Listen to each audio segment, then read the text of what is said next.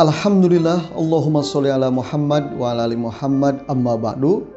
Ya ayuhalladzina amanu taqullaha haqqa tuqatih wa la tamutunna illa wa antum muslimun. Masyarul muslimin rahimakumullah Mari kita tingkatkan ketakwaan kita kepada Allah Subhanahu wa taala dengan terus memperbaiki kualitas amal, kualitas akhlak dan kualitas tali persaudaraan kita. Allah Subhanahu wa taala telah memerintahkan manusia untuk memperkuat tali persaudaraan. Sebagaimana digambarkan dalam firman-Nya Zuribat dhillatu ainama thukifu illa bihabli minallah wa habli minan nas. Mereka diliputi kehinaan di mana saja. Mereka berada kecuali jika mereka berpegang kepada tali hubungan kepada Allah dan tali hubungan kepada manusia.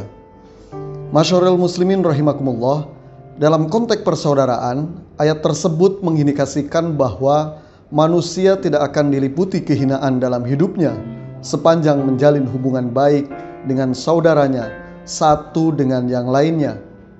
Di dalam Islam, ikatan persaudaraan dikenal dengan persaudaraan antar keturunan atau ukhuwah nasabiyah. Persaudaraan sesama manusia, ukhuwah basyariah. Persaudaraan setanah air, ukhuwah watoniyah. Dan persaudaraan seagama yang kita sebut dengan ukhuwah islamiyah. Hal ini sebagaimana ditegaskan dalam firman Allah Subhanahu wa taala, "Innamal mu'minuna ikhwah fa aslihu baina ahwaikum wattaqullaha la'allakum turhamun." Orang-orang beriman itu sesungguhnya bersaudara, sebab itu damaikanlah, perbaikilah hubungan antara kedua saudaramu, dan takutlah kepada Allah, supaya kamu mendapat rahmat. Quran Surat Al-Hujurat ayat 10 Ma'asyirul muslimin rahimakumullah Dalam berbagai hadis Rasulullah SAW menjelaskan perumpamaan-perumpamaan yang menggambarkan keutamaan orang mukmin dalam proses persaudaraannya. Di antaranya, pertama, persaudaraan orang mukmin dengan mukmin lainnya itu seperti bangunan. Al mukminu lil mukmini kal bunyani yashuddu ba'duhu ba'du. Rawahu Muslim.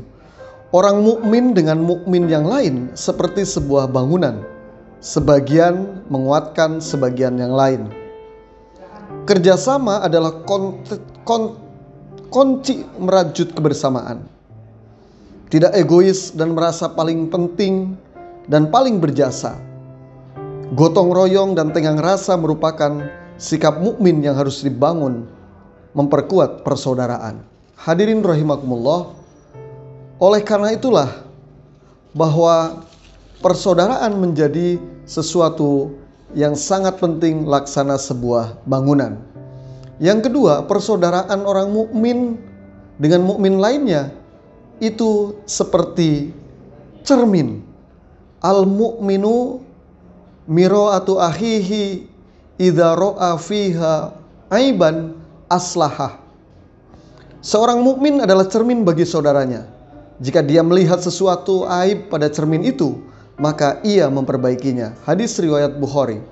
Cermin adalah tempat untuk mengetahui apa yang sudah baik dan apa yang masih belum sempurna.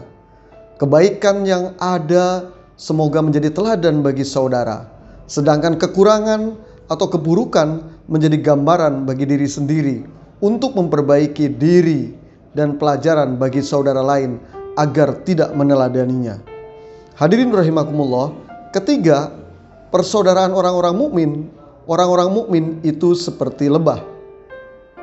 Masalul mukminina masalun nihlah. In akalat akalat toyiban wa in wadu'at wadu'at toyiban wa in waku'at ala udi syajarin lam taksirhu. Perumpamaan orang-orang mukmin seperti lebah. Apabila makan, ia akan memakan sesuatu yang baik. Apabila mengeluarkan sesuatu, ia pun akan mengeluarkan sesuatu yang baik. Dan apabila hinggap pada sebuah dahan untuk menghisap madu, ia tidak mematahkannya. Hadis riwayat Baihaqi. Orang mukmin mampu menempatkan diri pada posisinya. Orang mukmin hanya melakukan yang baik-baik, makan yang baik, berkata yang baik. Apa pun keadaannya, ia akan berusaha melakukan yang baik-baik terlebih kepada saudaranya. Hadirin rahimakumullah, keempat, orang mukmin itu seperti pohon kurma. Masalul mu'minina masalun nekhlah ma akhadta minha min syai nafa'aka. Perumpamaan seorang mukmin itu seperti pohon kurma. Apa pun yang kamu ambil darinya pasti bermanfaat bagimu. Hadis riwayat At-Tabrani. Orang mukmin adalah orang yang punya kontribusi, kontribusi besar kepada sesama. Apa pun akan ia lakukan asal itu untuk kebaikan bagi orang lain dan tidak melanggar perintah Allah Subhanahu wa taala. Keberadaan seorang mukmin harus bermanfaat bagi saudara-saudaranya. Hadirin rahimakumullah. Yang kelima, persaudaraan orang mukmin itu orang mukmin seperti tubuh. Perumpamaan orang-orang mukmin dalam sikap saling mencintai, mengasihi, menyayangi seumpama tubuh. Jika satu anggota tubuh sakit, maka anggota tubuh yang lain akan susah tidur dan merasakan demam. Hadis riwayat Muslim. Orang mukmin bagaikan satu tubuh yang utuh. Kalau sakit salah satu organnya, yang lainnya pun merasa sakit. Bila saudaranya menderita kesulitan, maka yang lainnya juga merasakan. Itulah uh, itulah makna persaudaraan sesungguhnya. Islam mendorong umatnya untuk mengaplikasikan, untuk menerjemahkan ikatan tali persaudaraan dalam kehidupan yang nyata dalam kehidupan sehari-hari kita. Masyarul muslimin rahimakumullah, betapa indahnya Islam menuntun manusia dalam merajut tali persaudaraan. Berdasarkan teori psikologi sosial yang disebut dengan attachment theory yang dikemukakan oleh Bowlby dijelaskan bahwa kelekatan persaudaraan yang kuat akan memberikan sumbangan dalam kesuksesan perkembangan sosial dan penyesuaian diri yang sehat. Sebaliknya, konflik persaudaraan itu akan mendatangkan kerugian yang tak terelakkan. Hubungan persaudaraan mengharuskan adanya kehangatan yang ditandai dengan kedekatan, kasih sayang, dukungan moral material, penerimaan, pengetahuan akan pentingnya persaudaraan. Sebaliknya, menurut Bowlby, konflik yang terjadi biasanya ditandai dengan adanya pertengkaran, kompetisi yang tidak sehat, dominasi, serta persaingan dalam memperoleh sesuatu yang diinginkan. Masyarul muslimin rahimakumullah, sungguh ajaran Islam telah menanamkan benih-benih persaudaraan yang dapat menghasilkan manfaat yang dahsyat, baik duniawi maupun ukhrawi. Keimanan seseorang juga akan diukur dengan pembuktian sebagai uh, dengan pembuktian bagaimana nilai tali persaudaraan diimplementasikan dalam hidupnya Hal ini sesuai dengan hadis Rasulullah wasallam, la yu'minu ahadukum hatta yuhibba li akhihi ma yuhibbu li nafsih. Salah seorang di antara kalian tidaklah beriman dengan iman sempurna sampai ia mencintai saudaranya sebagaimana ia mencintai dirinya sendiri.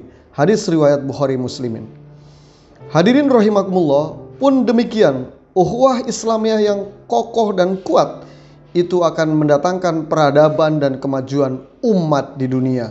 Rasul bersabda, Yadullahi alal jamaah. Penjagaan Allah berada di atas kebersamaan, di atas persaudaraan.